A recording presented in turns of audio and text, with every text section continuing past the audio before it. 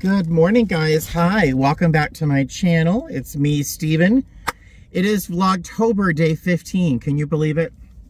If you watched yesterday's video, at least the beginning of it, um, I talked a little bit about how I'm allergic to cats.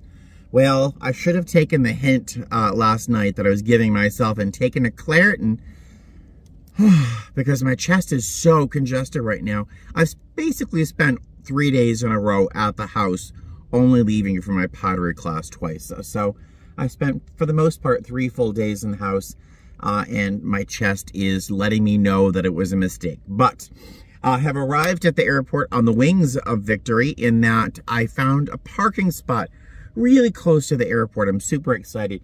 This morning, for some reason, this parking lot is packed, packed with people.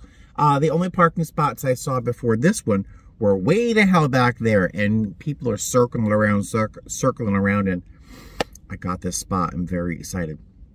All right, so today I am flying to Orlando and then we have a two and two hour 44 minute sit which really plays with your mind. And then we then we fly to Baltimore. So that Baltimore leg is going to be nice and easy. But the uh, the early morning flight to Orlando, we'll see what happens. Uh, that sit is something else, I'll tell you. Um, I did not take the time this morning to uh, cut my hair or trim my beard. I meant to, but um, I spent that time playing with the cats and giving them treats and stuff uh, instead. So I think it was a better use of my time anyway. I did bring my trimmer with me so I can take care of that on this trip because I'm getting a little crazy right now.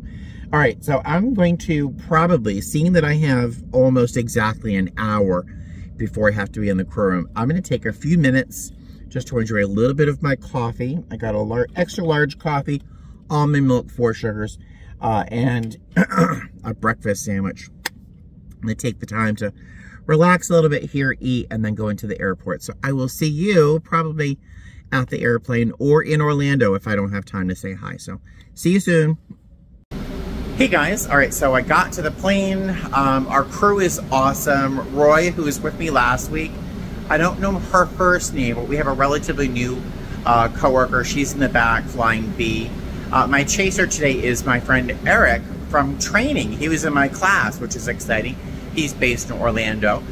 Um, you know, when coming off the plane, the incoming crew will frequently tell the outgoing crew what to expect when they get on the plane. Like, oh, you're going to need ice, you're being catered, you know, whatever information you might need to know.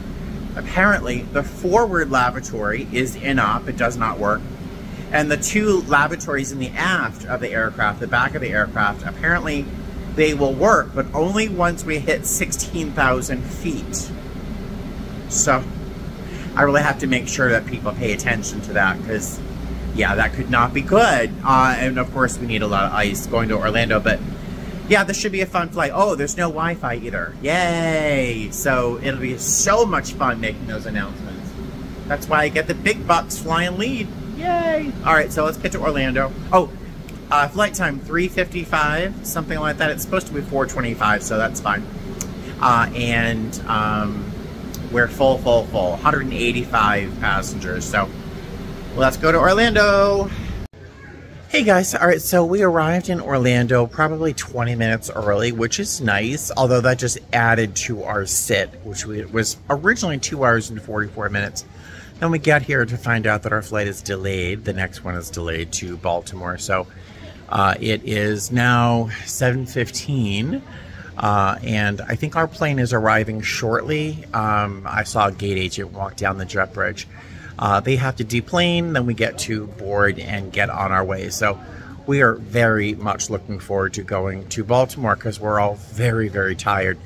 Uh, a long sit can just be debilitating, just sitting in the airport, surrounded by the chaos of what happens in airports. So I'm looking forward to getting on our way.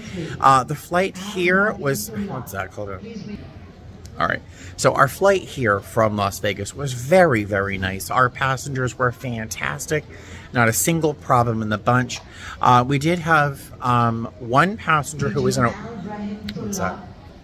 All right. So Uh, this passenger of ours was in a wheelchair, lovely woman with her amazingly nice boyfriend. Um, and when I when I was chatting with them, I sort of wanted to remind her that we did have an aisle chair in the event that she wanted to use a lavatory and um, it, it did come up naturally in conversation. It sounds like, well, why would you start talking about that? Um, and yes, indeed, indeed, uh, she asked if we could use the aisle chair to use the lavatory. The poor thing was in so much pain. I think she had a recent surgery or something. She was in a lot of pain. Uh, but uh, it took, well, my whole crew to uh, figure out really how to use the lavatory with the wheelchair. And we all played a part in making sure it happened. But it was satisfying. God, it was so loud. It was just satisfying to help someone out. And uh, the poor thing, she was in so much pain. But uh, yeah, really, really patient. She was lovely. Her boyfriend was amazing. And uh, it was just a nice experience. Who knew a wheelchair on a bathroom on an airplane was going to be a nice experience, right?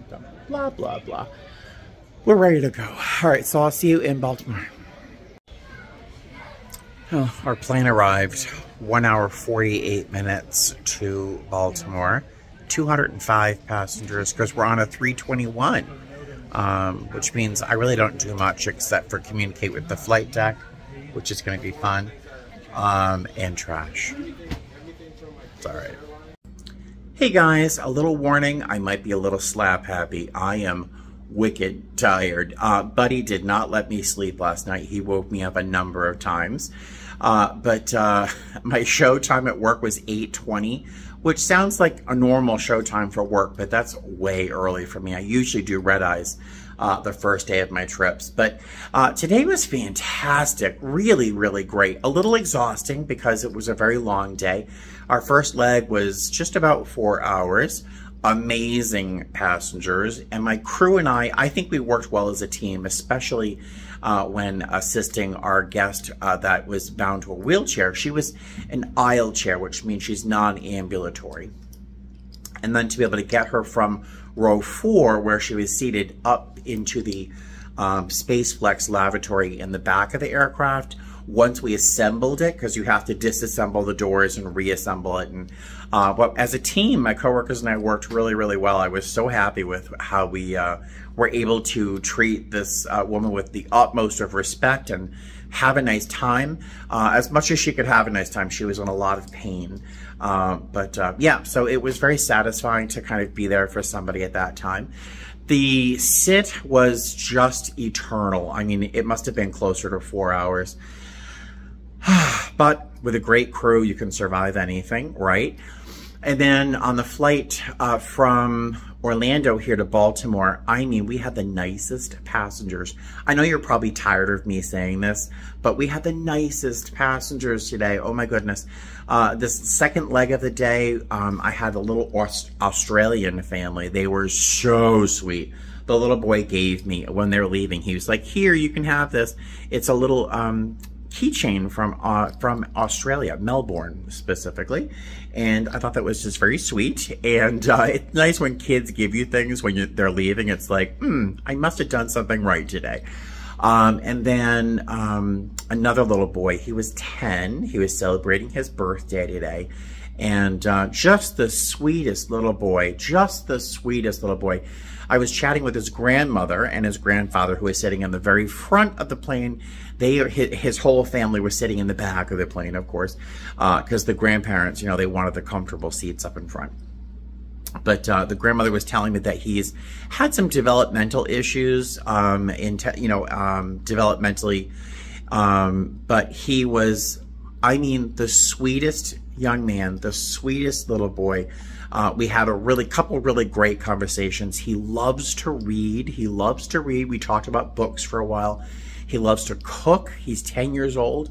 Um, we were talking about um, our favorite picture books as kids, where we, it was a cookbook in both of our cases. And we just had a little bonding moment over books and cooking. And he was so sweet. Really one of the brightest points of the day. Uh, but now I'm in my hotel room and I'm very excited because I get to uh, heat some food up, eat, and then crawl into bed. Um, we, we've been here before, so let me see if I can hide my lanyard before I show you, because there's mirrors everywhere. Bathroom, you've seen this place before. Um, coffee maker back there. There is no microwave, but they've tucked a refrigerator in under the sink. That's fine. Back here we have a little seating area, a little desk, a little weird little bench, and then we've got the king size bed right there. Uh, you've seen this place before. But uh, yeah, I'm gonna settle in and uh, heat up some food. This is, now you all know I'm in love with my lunchbox. You know I'm in, I always talk about my lunchbox. This is what I'm eating for dinner. It's just a little frozen meal. But this is it here. It is completely solidly frozen and it's been in my lunch bag. It's been in my lunch bag since 7 a.m. this morning in Las Vegas. Now it is 11.28 in the evening here on the East Coast. It's the best lunch bag. I mean, I know everyone, well, I don't know if anyone feels the way they do about their lunch bag as I do, but uh, there's a lot of bags out there. I think this is the best. I'm going to try to remember to put a link in the description box below. Um, I've listed it, I've linked it before, uh, but I really honestly think if you're going to buy a lunch bag, invest in a good one. I think this one's like $68, $70, something like that, but it's totally worth it. This is the bag. It's by Majecto, and it's called, it's the large Majecto. Don't get the extra large, it's too big. But um, yeah, so I'll try to remember to put a link in the description box because I love that lunch bag. I'm always talking about it. Blah, blah, blah. So I'm to heat up my food and then jump in bed, pass out because I'm wiped. And uh, I will see you tomorrow. Thanks for joining me on today's flight, and I'll see you soon. I mean, I've already said that. Fly safe.